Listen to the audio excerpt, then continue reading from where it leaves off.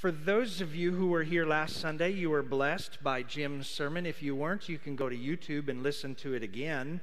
And today, I'm going to give a different sermon than I did at 9:30, even though there are parts that will be similar. And the reason I'm doing that is because I want to speak to our seniors and our graduates. And it's a universal message, but I think it's important that we mark this day as special, as sacred when we want to name and congratulate our graduates. So if you want to hear the 9:30 sermon, you can go to YouTube and listen to that. But I want to talk to our graduates about what it means to really be happy. And the reason I want to do that, I'm talking to all of us, but I I think this is true. And I know it's true in my my hearing. I hear it often. But I think the number one issue that people are asking today is what does it take to be happy?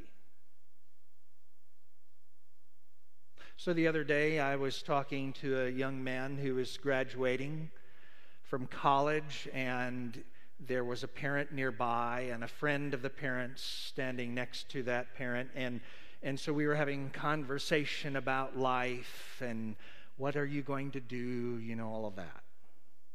And the friend of the parent said to the guy graduating, Well, I don't care what you do, just be happy. Whatever it takes to be happy, just do that. I think our culture is really obsessed right now with being happy. Well, what does it mean to really be genuinely happy? And how do we get there? So, I'm going to do a three point sermon. I don't have a poem.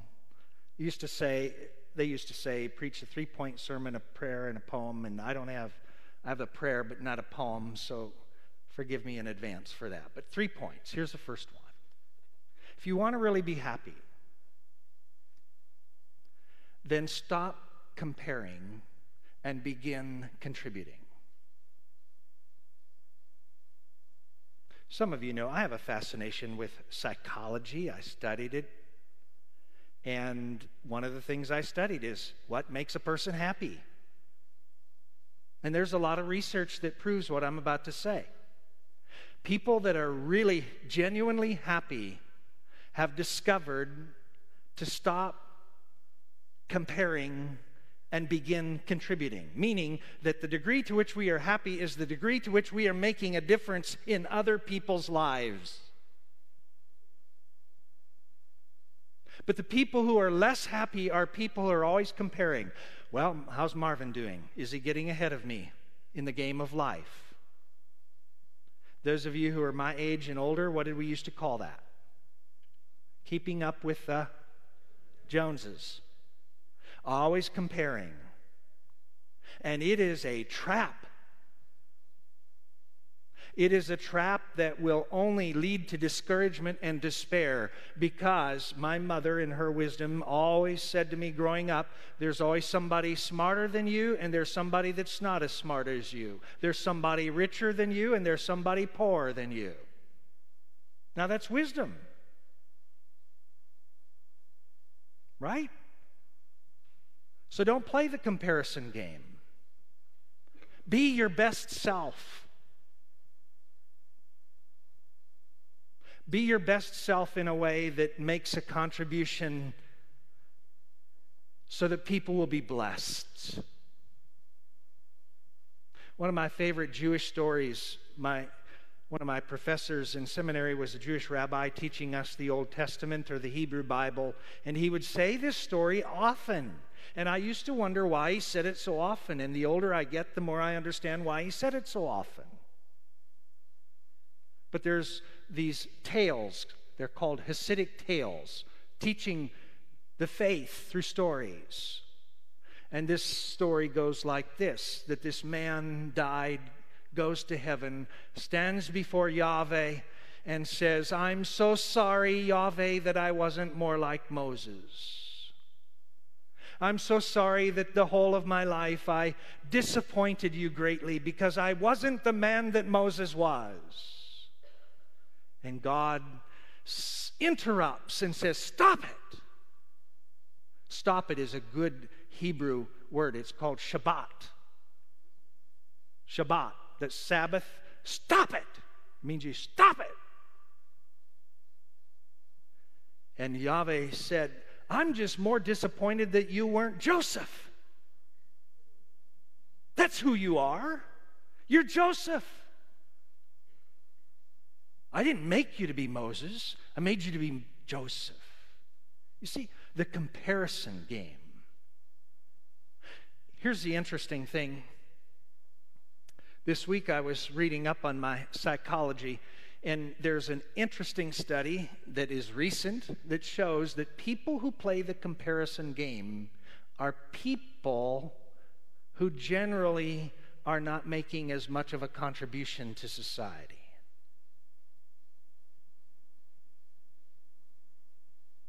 because they're too preoccupied.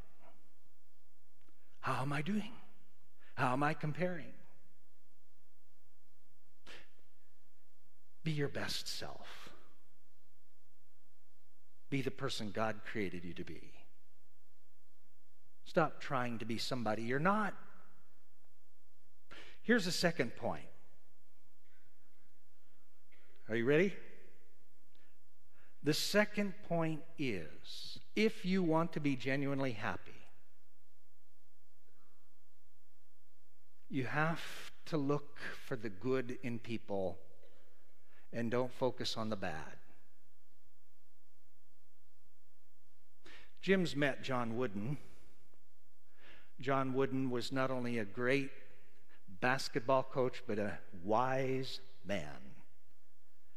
I'll never forget the interview. Maybe you've heard me share this. I've shared it in a variety of settings where NPR was interviewing him about a few months before he died, National Public Radio, and they said, Coach Wooden, Bobby Knight is a controversial figure.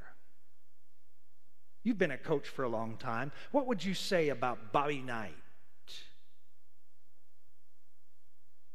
He said, There's good in the worst of us, and there's bad in the best of us. Now, he's quoting a philosopher, but that's wisdom. So the interviewer said, Well, I, I want to push you a little bit. What, what do you really believe about Bobby Knight? I believe there's good in the worst of us, and there's bad in the best of us. Look for the good.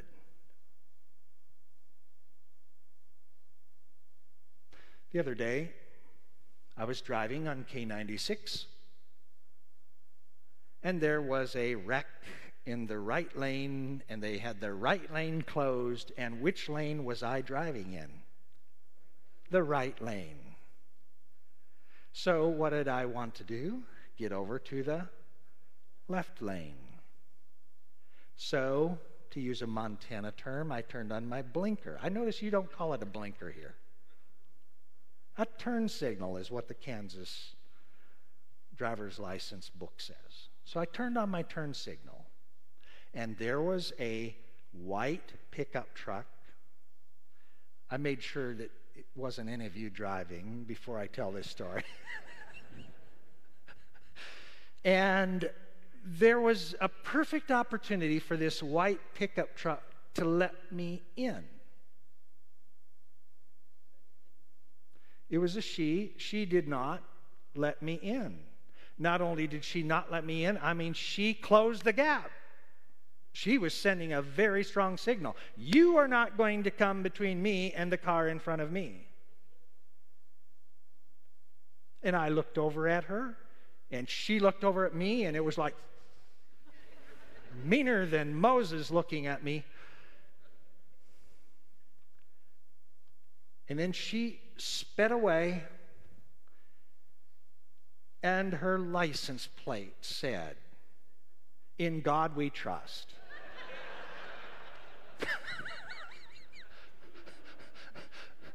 She spent money to have a license plate. That is not a free license plate in Kansas. Are you aware of that?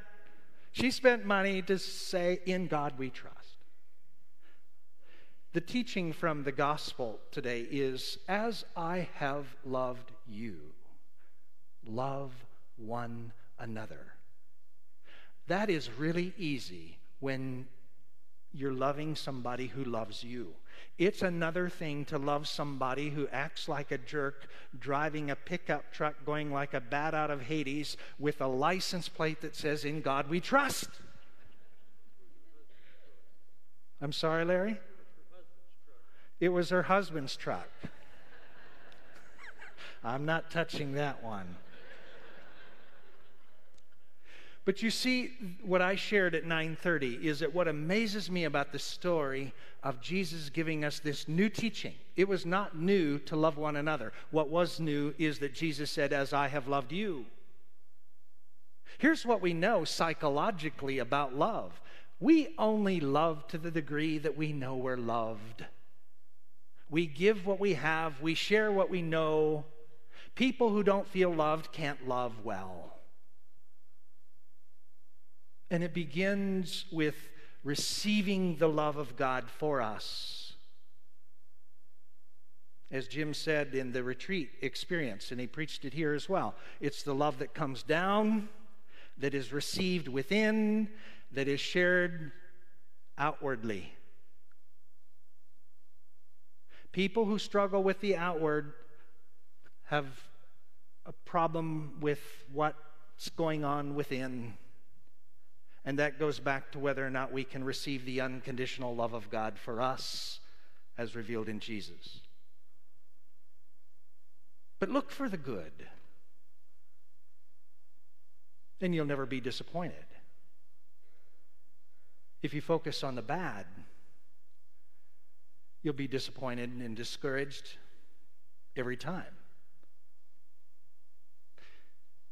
We used to have a district superintendent, Gary Brooks, who would come, and every benediction he said this. I found out that it's also on the walls of Jimmy John's, not in the bathroom, but out in the. and it's all it's one of those what do we call it folklore and it says this love like you've never been hurt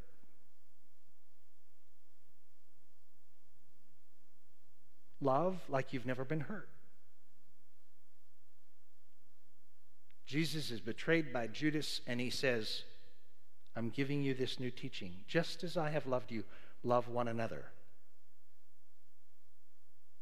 It's easy to love the Johns. I shouldn't have said that. It's easy to love the, the John, the Apostle John. In this, it says, you know, I love Jesus and Jesus loves me, and we've got this this love fest going. That's easy. But what do you do when the Judases come along? The degree to which we love is the degree to which we receive love. Here's the final one. I don't say this because I'm a pastor. I say it because I have come to believe it's true if you want to really be happy, not only stop comparing, but begin contributing. What am I going to do with my life that makes the greatest difference? And then look for the good, not for the bad, but here's a third. Keep Jesus in the center of your life.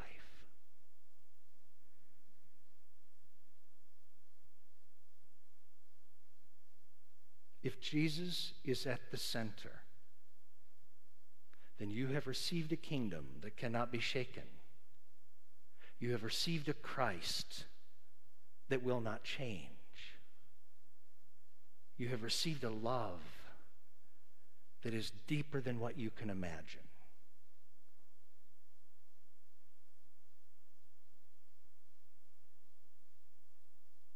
What does it mean to keep Jesus? at the center of our lives. I want to share with you as I close a prayer. I teach this to the confirmands. It comes from a Catholic nun named Sister Joyce Rupp. She lives in Des Moines. I love this prayer. It's simple, it's comprehensive, it's everything I've tried to say today. It goes like this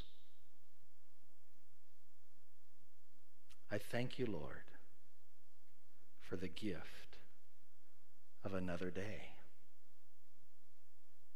I reach out in compassion to my sisters and brothers throughout the world. I offer to you all that I am and all that I have. I open myself to receive the gift that you have for me today.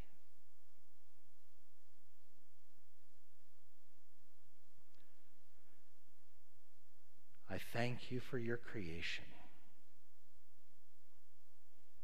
Help me today to be lost in wonder, beauty, love, and praise.